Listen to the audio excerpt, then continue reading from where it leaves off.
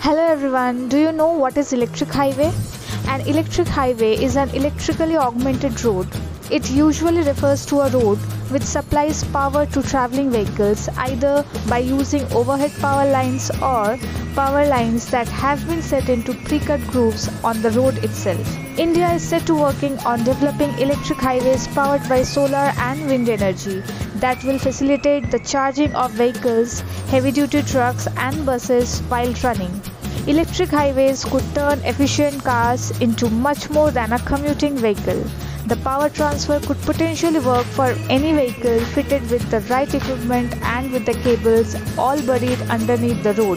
There is also no risk of collisions or electric shock. Such an e-highway would also help India reduce its dependency on fossil fuels and thus achieve its climate sustainability goals. Thank you. If you like this video, please subscribe.